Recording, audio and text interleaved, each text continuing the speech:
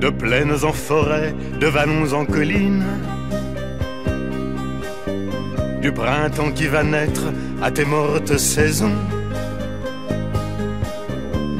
de ce que j'ai vécu à ce que j'imagine, je n'en finirai pas d'écrire ta chanson, ma France. Au grand soleil d'été qui courbe la Provence, genêts de Bretagne aux bruyères d'Ardèche.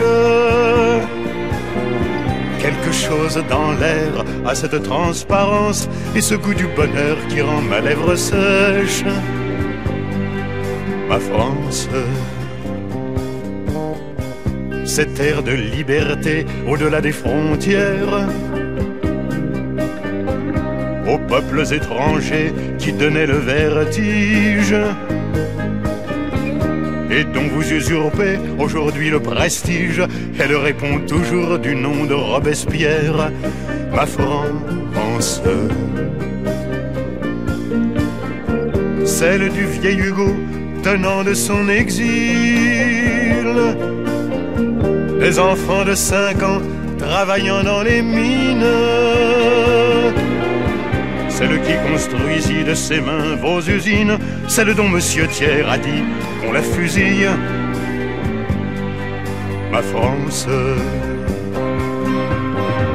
Picasso tient le monde au bout de sa palette. Des lèvres d'éluard s'envolent des colombes. Ils n'en finissent pas, tes artistes prophètes, de dire qu'il est temps que le malheur succombe. Ma France. Leurs voix se multiplient à n'en plus faire qu'une. Celle qui pète toujours vos crimes, vos erreurs en remplissant l'histoire et ses fausses communes, que je chante à jamais celle des travailleurs. Ma France, celle qui ne possède en or que ses nuits blanches, pour la lutte obstinée de ce temps quotidien du journal que l'on vend le matin d'un dimanche à l'affiche qu'on colle au mur du lendemain, ma France. Qu'elle monte des mines, descende des collines, celle qui chante en moi, la belle, la rebelle.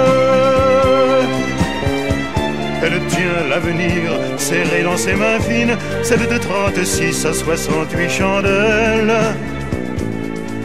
Ma France.